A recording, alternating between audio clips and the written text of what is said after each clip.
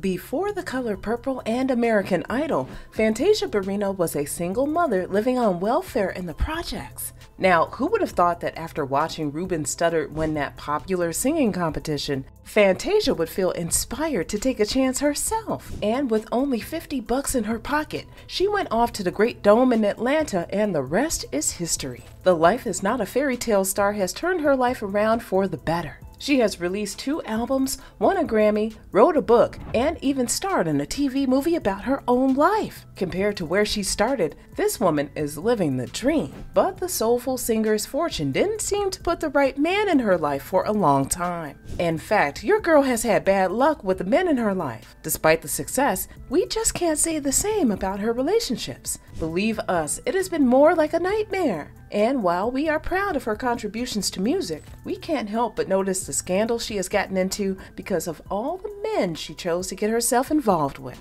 It's been one after another, and far from the American dream. Fanny, as her fans call her, will always be our girl. But it's time for some tough love and airing out the dirty laundry, if you know what I mean. Welcome to True Celebrity Stories, your one stop place for the hottest and juiciest celebrity gossip out there. Today, we are going to dive deep into the relationships that Miss Fantasia Barrino has gotten herself into over the years and the scandals that have impacted her career as a result. She has overcome a lot in her past, and it shows in the way she handles the men and her children in her life. So fasten your seatbelts because you will definitely be in for a bumpy ride. Let's get into it. Born in High Point, North Carolina, Fantasia Monique Barrino had a lot of things happen to her at a young age. Unfortunately, it wouldn't all be good things. Though she began singing at the age of five, she was also having problems in school. These problems got so bad to a point where she dropped out in the ninth grade. You heard that right. Fantasia's first year of high school would turn out to be her last. Fantasia decided school was not for her.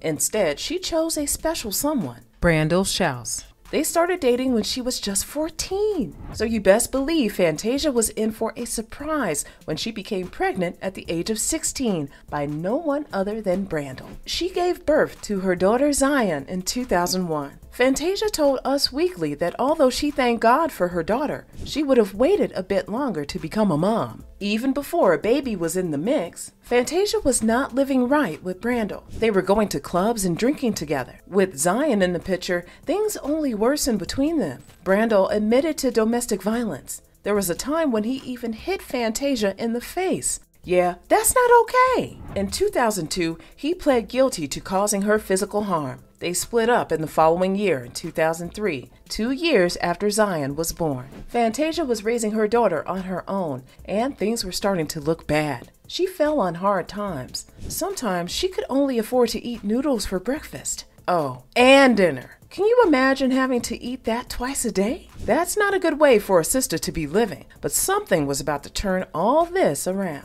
It was only a year later in 2004 that Fantasia would get her big break on American Idol. Man, can you imagine her baby daddy seeing her blow up on the big screen? It didn't matter. With her new fame, Fantasia was moving on. She had gone from a dark corner to being in the limelight, and things were finally seeming to get better. Her career was soaring high. By the end of the year, her single, I Believe, from her album Free Yourself, won top-selling single of the year and top-selling R&B hip-hop single of the year at the Billboard Music Awards. Her time on American Idol had now guaranteed her success. On a YouTube video that includes her winner moment, Glowing My Way commented by saying, Almost 20 years later and this morning still gives me chills. And user Paris Jedge said, the whole city of Fayetteville, North Carolina was crying when this popped off. This was the best season of American Idol, hands down. I love you, Fantasia. Such an inspiration. Started from the bottom and made it overnight, but there would soon be trouble in paradise.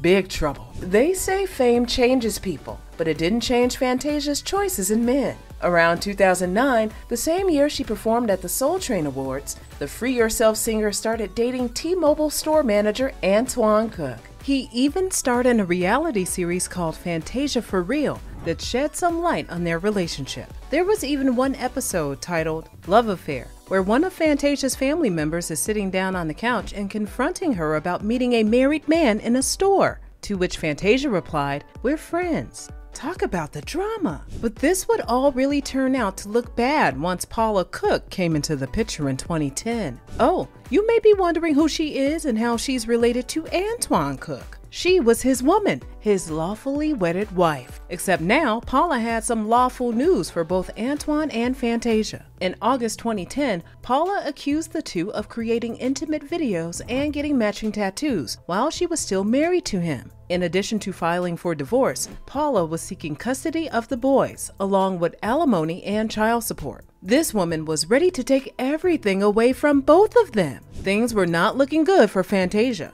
Although she stood by her claim that she thought Paula and Antwaun were separated, the media was preparing to make our homegirl look like she was a homewrecker. This is where the downward spiral really took its course. Fantasia was at risk of paying a lot of money. Now, you may be wondering what Paula divorcing Antwaun had to do with Fantasia's bank account, and we've got the explanation for that. North Carolina recognizes a law related to alienation of affection. Basically, it just means that it was about to be hard for Fantasia to get out of this one. Fantasia admitted that she was pregnant with Antwaun's child, but had decided not to go through with it. Dealing with the stress of possibly having to fork over hundreds of thousands of dollars to Paula, Fantasia made a decision that would make headlines during that same month of Paula filing for divorce. Within that same month, on August 9, 2010, Barrino was hospitalized in Pineville, North Carolina. It turned out she had overdosed on aspirin and some unknown sleeping aid. It was her manager who found her. She appeared on Good Morning America not too long after the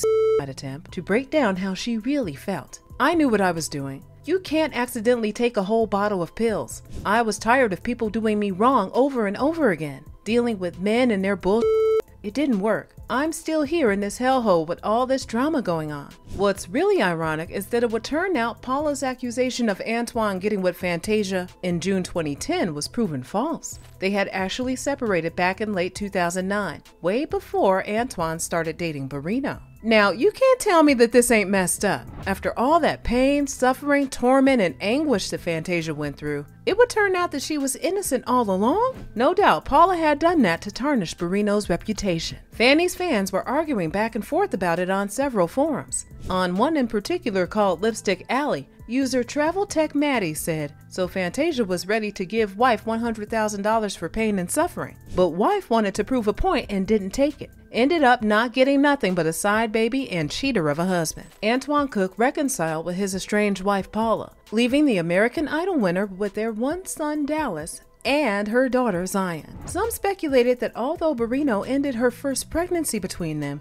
she went ahead and had the baby the second time around because she wanted to keep him. That is not the best way to keep a man, sis. But in an odd turn of events, she got to keep in touch with Antwaun after all. In 2013, he and Fantasia reportedly shared custody with their son, and all the bad beef has been squashed. She even took to Instagram to express gratitude for the relationship she now has with Antwaun and his wife. Tasia was getting back to herself, releasing her album Back to Me with the decision to focus on the future despite her struggles. She began focusing more and more on her career and even started fasting to rid herself of past toxic relationships. She told Billboard that she brought a ring and married herself. She then said, some man has to top this because I'm worth it. She also wrote down all the qualities she wanted in a husband. In 2014, while visiting a bar in the Hyatt Hotel in North Carolina, some drunk man started causing a commotion to the point where Fantasia wanted to leave. Suddenly, a man named Kendall Taylor,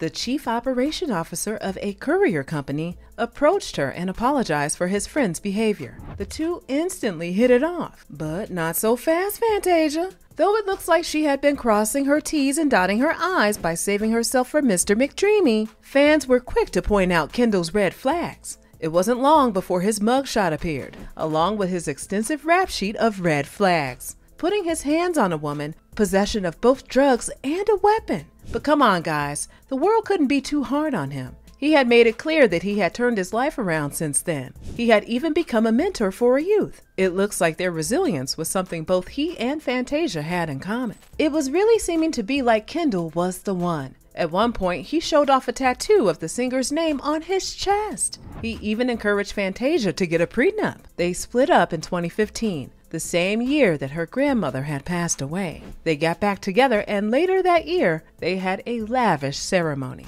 She even credits her husband for helping her cultivate a newfound passion for books. When Kendall came into her world, her whole life changed. He gives her the love she deserves. I'm not the same Fantasia, and I love the queen I'm becoming. Well, it looks like she really did meet the man of her dreams after all. There is no doubt that our girl deserves it, especially after all the drama that she had been through. Her fans surely seem to agree. YouTuber Deborah Johnson 6834 commented, She's older now. She's married, seemingly happy, and equally yoked. Can we say move on? All right, so Fantasia has been in and out of the limelight since then. Her Instagram page was popping while she was starring in The Color Purple, and she continues to update it with her latest poses and hairstyles. But what's the update on the men in her life now? Fast forward to last year in 2023, where Fantasia had opened up to People magazine about her parenting style. I want to break generational curses, she said. We're all for that, Fantasia. You go, girl. Dallas Xavier Barrino, the son of both Fanny and Antwaun, just turned 13. Both parents took to sharing sweet birthday tributes on Instagram. But we know the question you all have in the back of your minds. What about Paula? Well, can you believe this post Antwaun made on his LinkedIn account last year, as in 2023?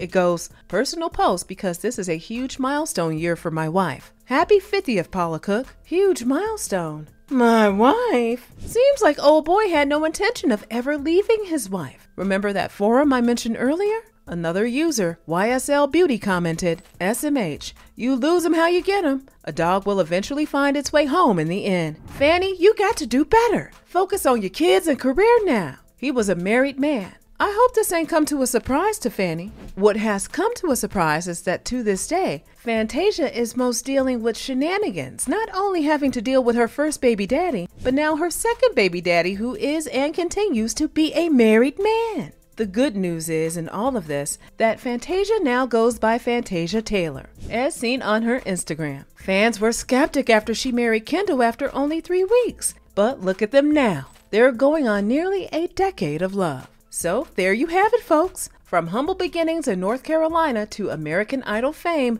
to renewing her vows with the man of her dreams, our girl Fanny surely has come a long way. But what do you think about her past relationships and its impact on her career now? Do you believe that Fantasia was able to bounce back and be resilient? Do you think that Kendall is the one and she won't get hurt again? Thank you for watching True Celebrity Stories. And don't forget to like and subscribe to hear the latest on the hottest celebrities with the juiciest details.